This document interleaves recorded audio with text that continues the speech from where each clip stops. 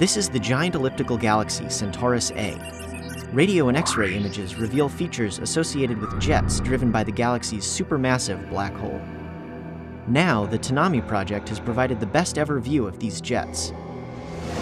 In this radio image of the galaxy's core, the black hole is invisible, but the jets show in great detail. Features as small as 15 light days across can be resolved.